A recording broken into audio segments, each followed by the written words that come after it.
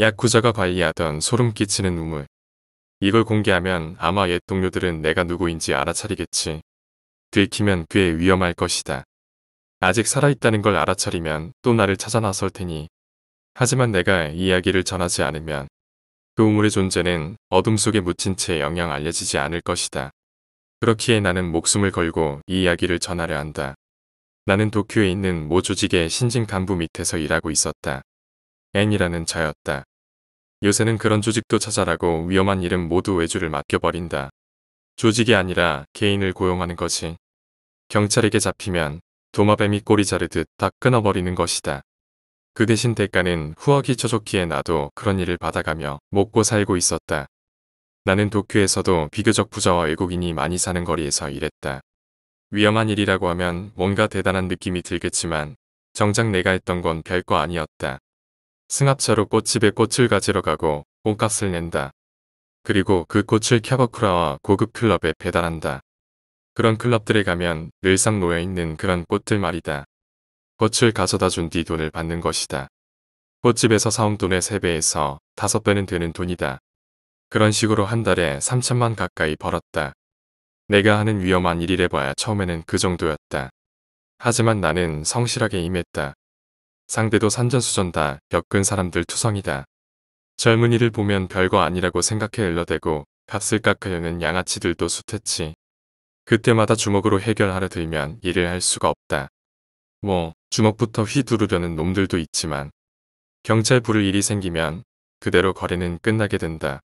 조직에서도 미운 털이 박히게 되는 것이 내 입장에서도 피 같은 돈을 날릴 수는 없는 거고 그렇기에 그럴 때마다 나는 끈질기게 달라붙어 설득했다.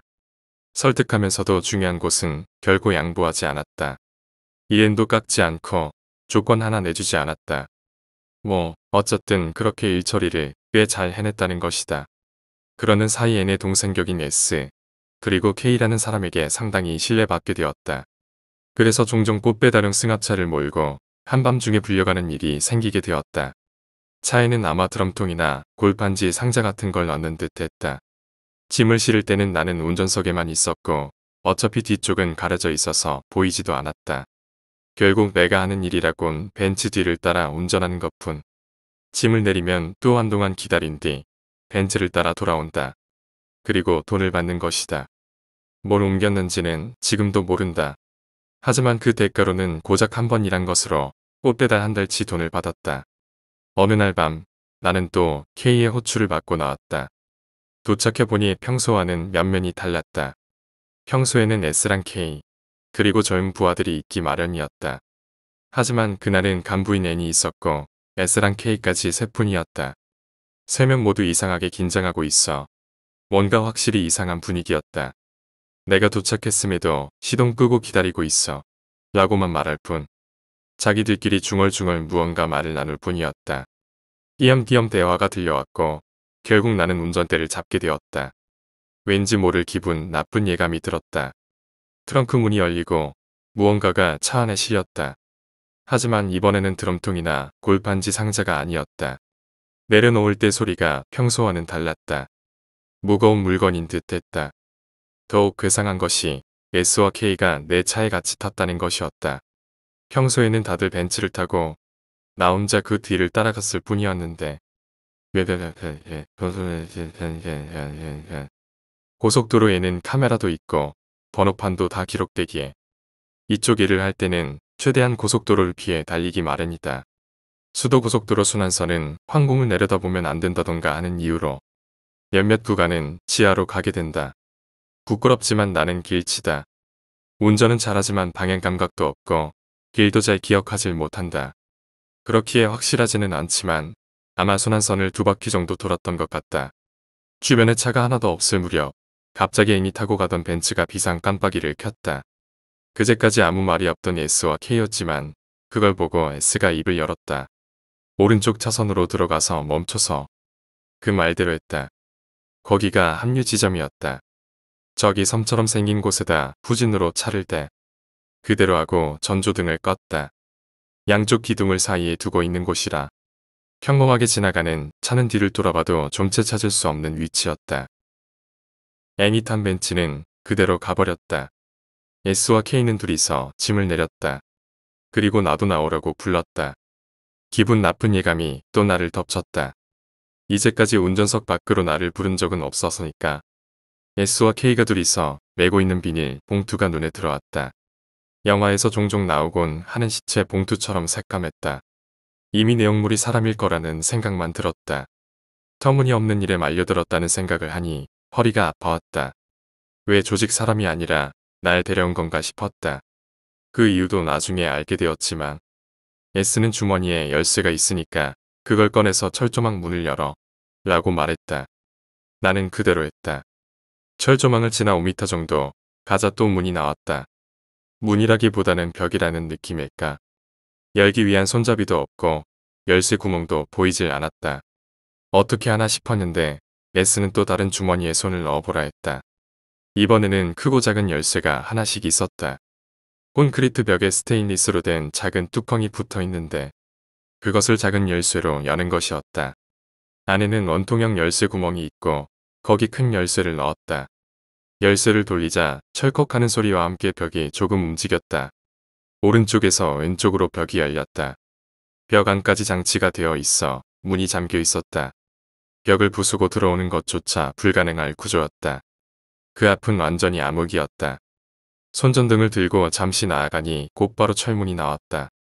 무단 출입 방금, 방위시설청, 이라고 적혀 있었다. 이상했다. 여기는 일본 도로공단의 시설일 텐데. 아니, 그걸 떠나 조직 사람들이 이런 곳에 멋대로 드나들 수 있는 것인가 하는 의문이 들었다. 익히 아는 사람들이라 실수는 없을 거라 생각했지만 어디 감시 카메라는 없는 건가 싶어 불안했다. 안에서는 더 이상한 게 기다리고 있었지만 철문도 아까 전벽과 똑같은 방법으로 열었다. 우리는 안으로 들어섰다. S랑 K는 이제 땀을 뻘뻘 흘리고 있었다. 꽤 힘들어 보였지만 도와달라고는 끝내 말하지 않았다. 안에 들어서자마자 계단이 나왔고 계속 아래로 내려갔다. 상당히 오랜 시간을 말이다. 종종 두 사람은 발을 멈추고 어깨에 맨 짐을 고쳐맸다. 계단을 다 내려오자 대단히 넓은 통로가 좌우로 펼쳐졌다. 아마 폭이 10m 정도는 되었던 것 같다. 거기서 잠시 쉬었다. 통로에는 군데군데 전등이 달려 무척 어슴푸레했지만 일단 손전등 없이 걸을 수 있었다. 우리는 왼편 통로로 나아갔다. 가끔씩 쉬면서 한동안 걸어갔다. 통로 자체는 올곧게 뻗어 있었다. 종종 양옆에 철문이 보였다. 그러다 어느 앞에서 S가 멈춰서서 입을 열었다. 이거 아닌가? 이거 같은데. 거기에는 제국 육군 제13호 갱도라고 써 있었다. 나에겐 글자체였다. 믿을 수 없었다. 지금 일본에는 육상 자위대 뿐이니까 최소 몇십 년은 더 된 터널이라는 뜻이었다. S도 K도 땀투성이가 되어 숨을 몰아쉬고 있었기에 문을 열고 들어간 후 또 짐을 내려놓고 잠시 쉬기로 했다. 두 사람 모두 말이 없었고 나도 가만히 있었다. 잠시 뒤 S가 이제 가자 라고 말하고 봉투 한편에 아마 다리가 있을 쪽을 잡았다. 그랬더니 봉투가 갑작스레 날뛰기 시작했다. S는 허를 찔렸는지 그만 손을 놓아버렸고 반대편 봉투 입구에서 얼굴이 튀어나왔다. 제가를 물고 있는 약간 마른 남자였다. 어디선가 본 적이 있었다. 하지만 짐작은 하고 있었음에도 봉투 안에서 진짜 사람이 그것도 살아서 튀어나온 걸 보고 내 머릿속은 새하얘졌다. S는 K에게 왜 정신을 차린 거야? 약을 놔. 약을 봉투에 다시 집어넣으라고 하고 소리쳤다. K는 약은 가진 게 없어. 라고 어떻게든 대답했다. 그 사이에도 봉투는 계속 날뛰었다. 몸을 묵혔는지 격렬하게 몸을 뒤틀며 어떻게든 봉투 밖으로 나오려 하고 있었다. S는 봉투 위, 배 근처를 밟듯이 차버렸다. 순간 봉투의 움직임이 멎었지만 큰 신음소리를 내며 다시 날뛰기 시작했다. S는 배 근처를 계속해서 차댔다. 그런데도 봉투는 계속 날뛰었다. 이윽고 K도 가세에 둘이서 엄청나게 찼다. 뿌드득하는 소리가 두어 번 들렸다. 아마 늑골이 부러졌던 거겠지. 봉투의 움직임은 멈췄다. 그 순간 어째서인지 남자는 고개를 들어 나를 바라봤다. 그때까지 성난 야수처럼 날뛰고 있던 남자가 갑자기 울 것 같은 얼굴로 나를 응시했다. S가 다시 집어넣어. 라고 말하자. K는 남자 어깨를 밟고 봉투를 잡아당겨 남자를 안으로 집어넣었다. 지금도 그 광경은 슬로 모션으로 내 기억 속에 남아있다. 남자는 봉투에 들어갈 때까지 계속 나를 바라봤다. 그 눈빛은 아마 평생 잊을 수 없겠지. K가 힘겹게 봉투 입구를 묶는 걸 확인한 후 S는 다시 몇 번 더 봉투를 걷어쳤다. 이 정도 해둘까? 죽으면 안 되니까 말이야. S는 그렇게 말하고 나를 보았다. 너, 저 녀석 얼굴 봤어? 아니요. 갑작스러워서 뭐가 뭔지 저는 전혀. 그렇게 대답하는 게 고작이었다. 사실 어디선가 본 것 같다는 생각을 하고 있었지만 누구인지는 기억나지 않았다. S와 K는 다시 움직이지 않게 된 봉투를 메었다. 달라진 것은 나도 가운데에서 함께 들게 됐다는 것. 이제 내용물을 알아버렸으니 나 또한 운명 공동체가 된 셈이었다. 그리고 그 13호 갱도라는 곳을 계속 걸었다. 지금까지 걸어온 넓은 통로와는 달리 폭이 3m 정도의 좁은 통로였다. 오른편은 계속 벽이었지만 왼쪽에는 종종 아래로 내려가는 계단이 있었다. 폭 1m 약간 더 될 정도의 계단을 조금 내려가니 문이 있었다. 몇 번째인지는 모르겠지만 S는 어느 옆에서 멈춰 라고 말했다. 거기에는 또 제국 육군, 제국 육군 제126호 우물이라고 써 있었다. 우리는 S의 말을 따라 안으로 들어섰다. 안은 상당히 넓은 방이었다. 초등학교 교실 정도 크기일까 그 한가운데에 확실히 우물이 있었다. 하지만 뚜껑이 닫혀 있었다. 무거워 보이는 철제 뚜껑이 가장자리에는 쇠사슬이 달려 있었고 그게 천장에 있는 도르래에 연결되어 있었다. 도르래에 달려있는 또 다른 쇠사슬을 당기자 뚜껑에 붙은 쇠사슬이 서서히 감기고 뚜껑이 열렸다. 나는 명령대로 계속 쇠사슬을 잡아당겨 뚜껑을 열었다. 완전히 뚜껑이 열리자 두 사람은 봉투를 들어 올렸다. 이미 무슨 짓을 할지는 짐작하고 있었다. 이 깊은 땅 속 아무도 오지 않을 우물에 내던져 버리면 두 번 다시 나오지 못하겠지. 하지만 딱 하나 알 수 없는 게 있었다. 어째서 산채로 던져야만 하는 걸까? 두 사람은 봉투를 우물 안에 집어던졌다. 나는 물이 튀는 소리가 날 것이라 생각했다. 하지만 들려온 것은 퍼석하는 소리였다. 물이 하나도 없이 마른 바닥에 떨어지는 것 같은 소리. S와 K는 서로 마주봤다. S는 손전등을 들고 있던 내게 턱을 주걱거렸다. 우물 안을 들여다보라는 뜻이었겠지. 손전등으로 비추어 보았지만 처음에는 빛이 약해서 바닥까지 보이지가 않았다. 빛을 조절하고 초점을 맞추자 희미하게나마 바닥까지 빛이 닿았다. 봉투의 일부분이 보이고 있었다. 우물은 역시 마른 듯 물은 거의 없었다. 내가 비추고 있는 사이 손이 나타났다. 새하얀 손이 말이다. 그뿐 아니라 털 하나 없는 데다 새하얀 머리도 나타났다. 방금 전 봉투에 담겨있던 사람은 대머리가 아니었다.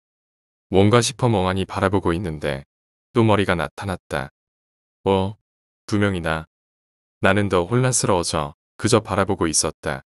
그 순간 그 머리는 고개를 들어 우리를 바라봤다. 문이 없다.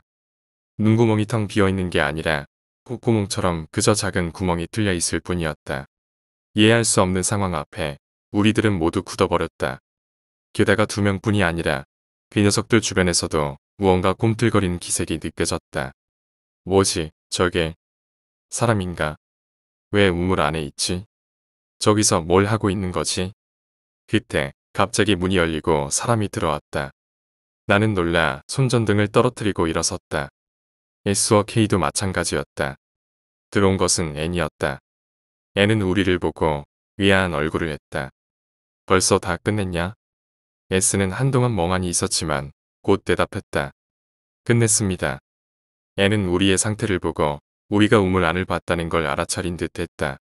봤냐, 저 안을. 우리는 아무 말 안 했지만 그건 곧 긍정하는 것과 다름없었다. 빨리 뚜껑을 닫아. 그 말을 듣고 나는 급히 아까 전과는 반대로 도르대를 풀었다. 뚜껑은 조금씩 닫혀간다. 쓸데없는 생각하지 마. 잊어. 하지만 머릿속에서는 온갖 생각이 다 들었다. 죽이면 안 된다고 했지만 S 본인 또한 왜 죽이면 안 되는지 그 이유는 몰랐을 것이다. 산채로 떨어뜨려야 하는 이유는 무엇일까?